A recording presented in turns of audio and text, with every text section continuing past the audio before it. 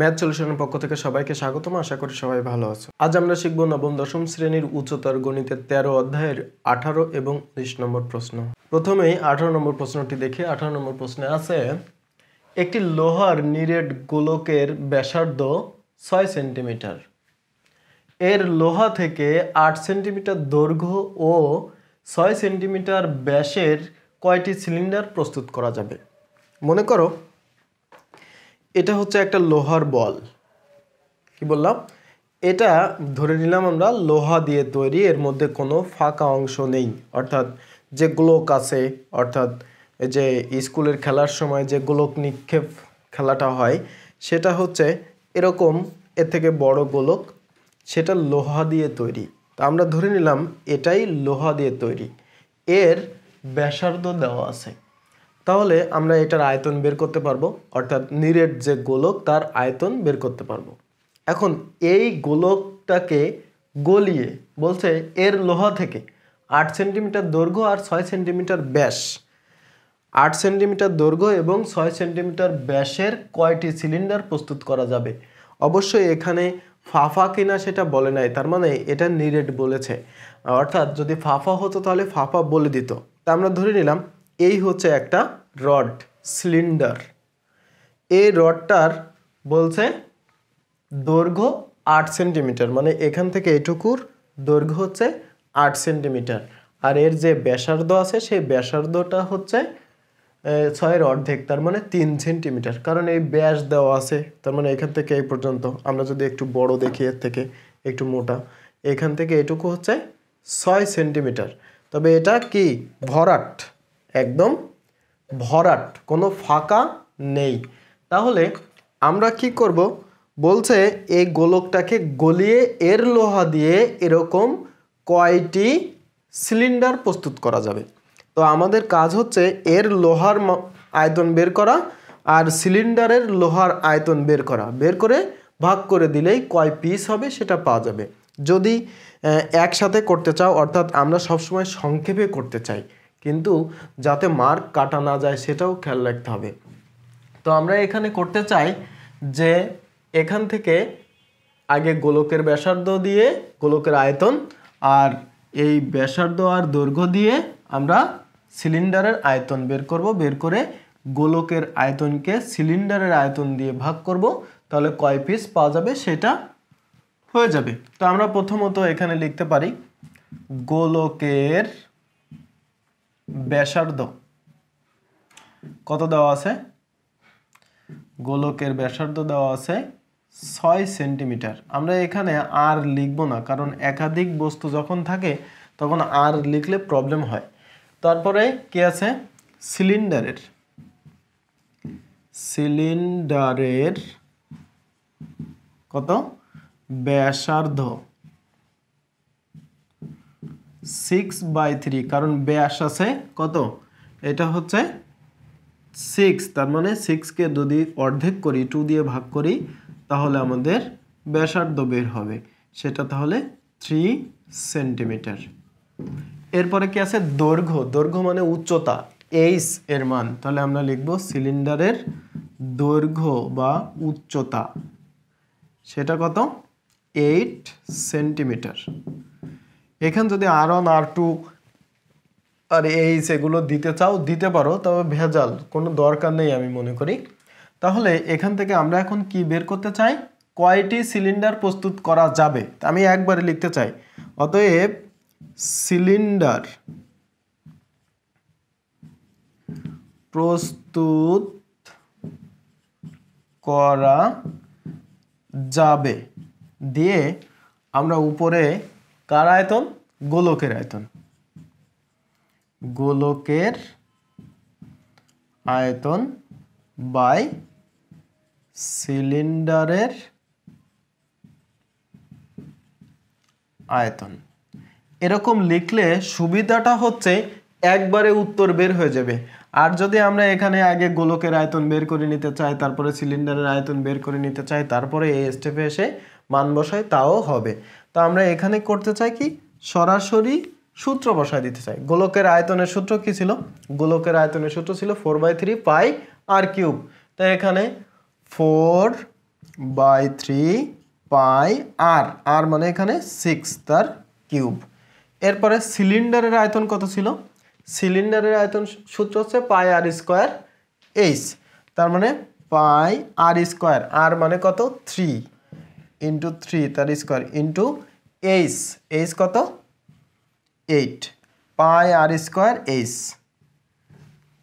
টি এখন দেখো, এটাকে যদি আমরা এই পাই পাই কেটে দিতে পারি, অথবা উপরে মান বের করে নিতে পারি সরাসরি, এই পাই আর এই পাই বাদ দিয়ে দিলাম। তার মানে four by three into six cube six cube এটা হয় টু এইট এইট আর এই পাই তো বাদ গেছে, তার মানে থ্রি স্কোয়ার মানে nine into eight seventy two তার মানে টু ডাবল এইটকে সেভেন্টি টু দিয়ে ডিভাইড তার মানে চার টি একদম সহজেই দেখো বের হয়ে গেল, কোনো গ্যাঞ্জাম ছাড়াই। তোমরা যদি মনে করো যে গোলকের আয়তন বের করব, সিলিন্ডারের আয়তন আলাদা বের করব, তারপরে এই ভাগ করব, করতে পারো। আর যদি এরকম করতে চাও, তাও করতে পারো, তোমাদের ইচ্ছা। আমার মনে হয় এইভাবেই করা ভালো, কারণ হচ্ছে জায়গা কম লাগল, সময় কম লাগল। আমাদের সময় বাঁচানোটা একটা গুরুত্বপূর্ণ বিষয়। এখন আমরা উনিশ নম্বর প্রশ্নটা দেখব। উনিশ নম্বর প্রশ্নে কি আছে? উনিশ নম্বর প্রশ্নের মধ্যে আছে বাইশ বাই পাইস ব্যাসার্ধ বিশিষ্ট মানে বাইশের নিচে হচ্ছে পাই।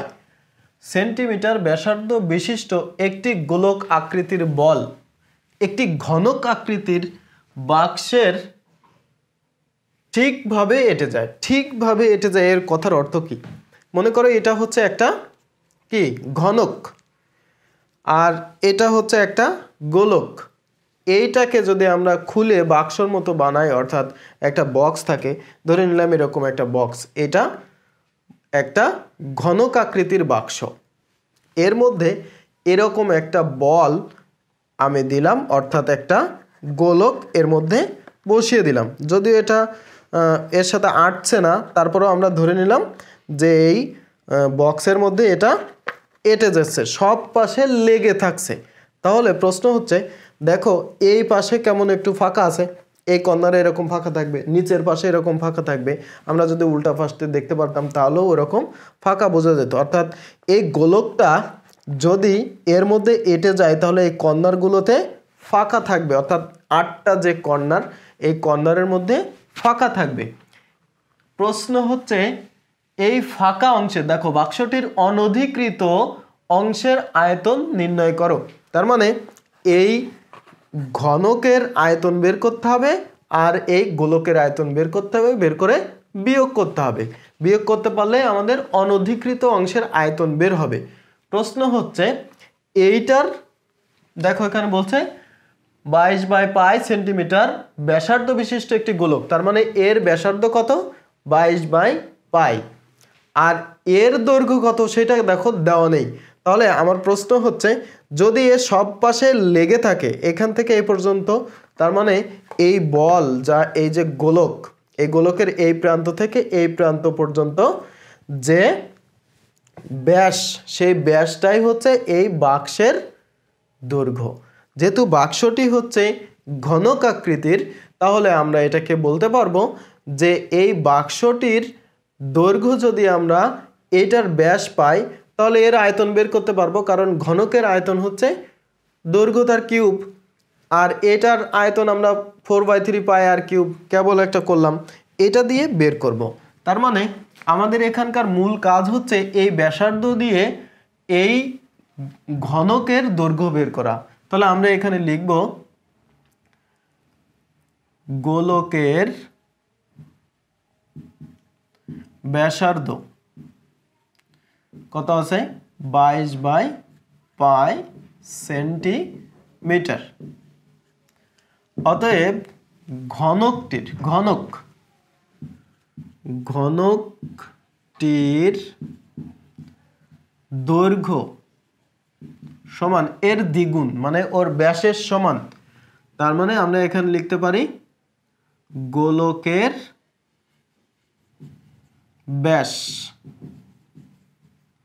এটার সমান তাহলে কি হবে? টু ইন্টু বাইশ বাই পাই সেন্টিমিটার। তার মানে দেখো কত হয়? চুয়াল্লিশ বাই পাই সেন্টিমিটার। কথা বুঝো আবার। এই ঘনকের ব্যাসার্ধটা হবে কি? ঘনকের ব্যাসার্ধ সরি ঘনকের দৈর্ঘ্যটা হবে ওই যে গোলকটা এর মধ্যে ঠিকভাবে এঁটে যায়, তার এই মাথা থেকে এই মাথা পর্যন্ত এর ঘনকের দৈর্ঘ্য। তার মানে গোলকের ব্যাসটাই হচ্ছে ঘনকের, গোলকের ব্যাস হচ্ছে ঘনকের দৈর্ঘ্য। এখন ঘনকের দৈর্ঘ্য বের করেছি, তাহলে এটা দিয়ে ঘনকের আয়তন বের করতে পারব। গোলকের ব্যাসার্ধ আছে, তাহলে এটা দিয়ে আমরা গোলকের আয়তন বের করতে পারব। তাহলে এই যে কর্নারে যে ফাঁকা জায়গাগুলো থাকছিল, সেটার কি বের করতে পারব আমরা এখান থেকে? যে অনধিকৃত মানে যে জায়গাটাও দখল করে নাই, তার আয়তন আমরা বের করব। তো আমরা এখানে কি করেছি? অতএব অনধিকৃত বাক্সটির আমরা একবারেই বের করব। বাক্সটির অনধিকৃত অংশের আয়তন কত হবে? আগে হচ্ছে গোলক বড় নাকি ঘনক বড়? যেহেতু বলা হচ্ছে গোলকটা ঘনকের মধ্যে এটে যাবে, তার মানে গোলকটা ছোট আর ঘনকটা বড়।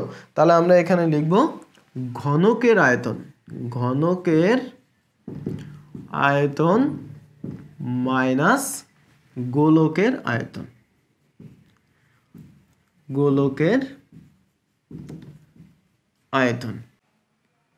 প্রথমে ঘনকের আয়তন। ঘনকের আয়তন কত আছে? ঘনকের দৈর্ঘ্য তার কিউব। ঘনকের দৈর্ঘ্য কত? এই যে ঘনকের দৈর্ঘ্য। চুয়াল্লিশ বাই পাই তার কিউব মাইনাস গোলকের আয়তন। গোলকের আয়তনের সূত্র কি? Four by three pi r cube. Four by three pi r মানে ব্যাসার্ধ। তার মানে ফোর বাই থ্রি পাই। পায়ের মান হচ্ছে কি? বসাবো আমরা পরে। আর আর কিউব মানে twenty two divided by pi তার কিউব, এর একক কি হবে? অবশ্যই আয়তন যেহেতু, তাহলে ঘন একক। তাই এখানে একক কত আছে? সেন্টিমিটার। এখন আমরা এটার মান বের করব, যত দ্রুত তোমরা ক্যালকুলেটরে বের করতে পারবা, ততই ভালো। তাহলে আমাদের হচ্ছে এখানে চুয়াল্লিশ বাই চুয়াল্লিশ by three point one four one six তার কিউব। এটা আসে two seven four seven point two nine five four three six minus এটার মান। এটার মানও আমরা একবারে বের করতে পারি four divided by three into three point one four one six into বাইশ বাই ফার্স্ট ব্র্যাকেট বাইশ বাই পাই মানে three point one four one six bracket close তার আবার কিউব তাহলে এটা আসে one four three eight point four eight three eight nine. এটা কি? ঘন সেন্টিমিটার।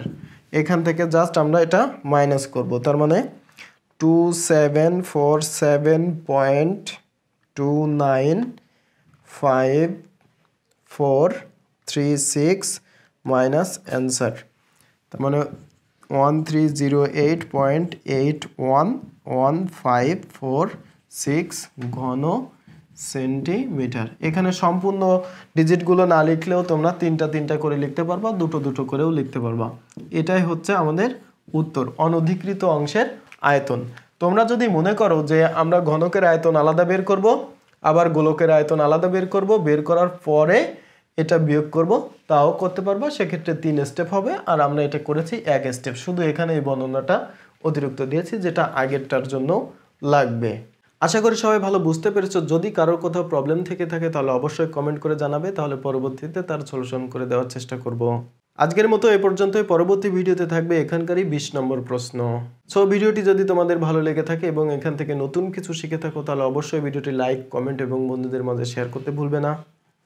পরবর্তী ভিডিও পাওয়ার জন্য অবশ্যই ম্যাথ সলিউশন এই চ্যানেলটি সবাই সাবস্ক্রাইব করবে। সবাই ভালো থাকো, সুস্থ থাকো এবং শিখতে থাকো নতুন কিছু।